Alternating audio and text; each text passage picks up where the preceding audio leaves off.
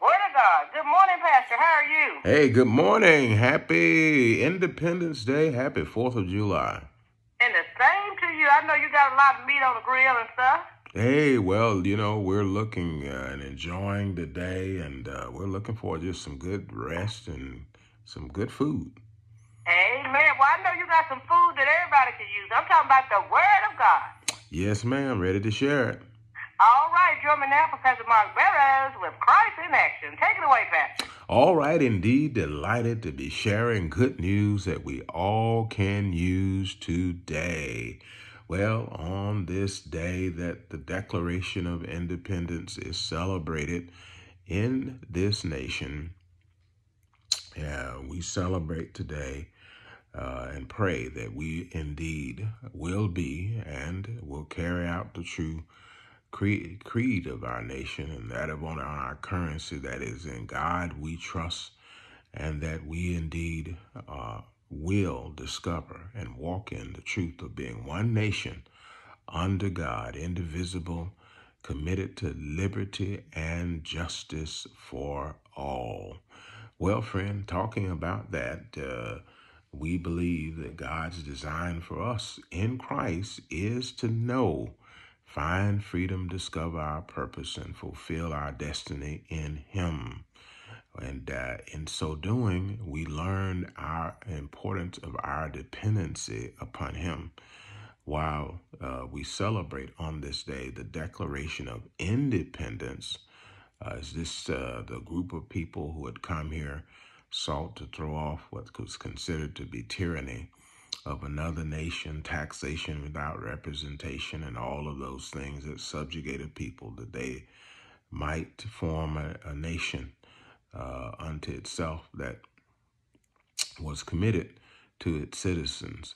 Well, we too know that our King, our Lord, our Savior, Jesus Christ, came into this world to liberate us, to make to, to make us free. For whom the Son shall make free, the Bible declares, shall be freed indeed.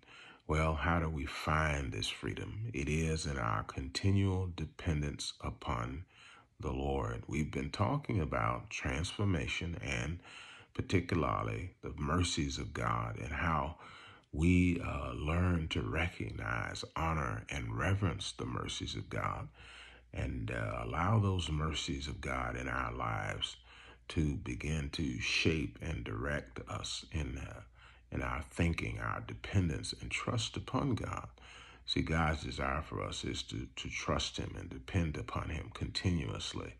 The Apostle Paul describes in 2 Corinthians chapter 12 a time in his life where he said that uh, he had been receiving great revelation from God, and God was providing great insights to him and uh, he was passing those revelations and insights on to all those about him in various nations. And he said, Because of the abundance of revelations, there was a messenger of Satan delivered unto me to buffet me.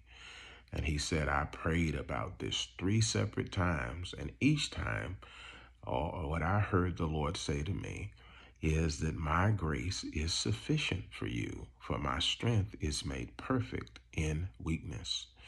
You know, friend, he prayed in this way, this great apostle who understood the authority of the believer. It is him who taught us in 2 Corinthians chapter 10 that the weapons of our warfare are not carnal, but mighty through God to the pulling down of strongholds, casting down imaginations and high things that exalt themselves against the knowledge of God it is him who taught us in Ephesians chapter 6 that we are to be strong in the Lord and the power of his might, putting on the whole armor of God to stand against the wiles, the tactics of the devil, knowing that we wrestle not with flesh and blood, but principalities, powers, and wicked spirits. It's him who taught us in 1 Timothy chapter 6 and verse 12 that we are to fight the good fight of faith and lay hold uh, of eternal life. Well, this man found himself in a fight. And in that fight, God spoke to him and told him that his strength was made perfect in his weakness and his grace was sufficient for him. What do you want me to get out of that? He said, after the third time, he said, I pondered it, I considered it. And I came to the point that I began to glory in my weakness, that the power of Christ might well rest upon, upon me. What does that mean for you and I? You see, friend, we must glory in our recognition of our need for God and our dependency upon Him, knowing that His grace is sufficient and He is ready at all times to show Himself strong on the behalf of those whose hearts are upright before Him, looking to Him in faith, trusting Him, uh, depending upon Him, that the power of Christ may be brought to bear on our lives. Today, friend, as you celebrate this holiday, celebrate your dependence upon God, declare it upon Him, for He has said that He will show Himself strong on the behalf of those who put their faith and trust and dependency upon Him. This has been an outreach of Connected Church. Connect with us, connected-church.com. Follow us on Facebook, Instagram, YouTube, and of course, right here on this Gospel Explosions outreach to the Tennessee Valley and beyond.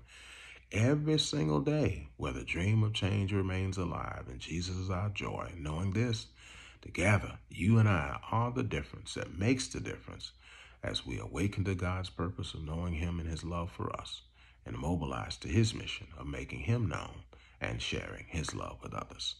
Happy 4th of July, faithful. Happy 4th of July to you and your family. Just enjoy yourself, and uh, we're just going to give God all the glory today just for allowing us to see another 4th of July, just another day.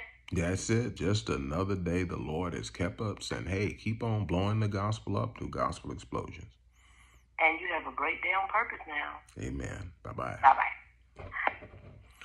All right. Well, yes, indeed. Do have a restful and joyful and peaceful 4th of July, however you choose to do it, whether it's resting and relaxing or with friends and family, or however you uh, choose to do so. You may be working today, but whatever you do, trust in the Lord with all your heart. Declare your dependence upon Him. And you know what you'll find? They that seek the Lord, he declares, shall not want for anything, that uh, he is a rewarder of those who in faith diligently seek him, believing not only that he exists and that he is, Hebrews chapter 11, verse 6, but that he is a rewarder of those who diligently seek him. Again, happy Independence Day, happy Dependence Day upon our God and King. Remember this always God loves himself some you, and we do too.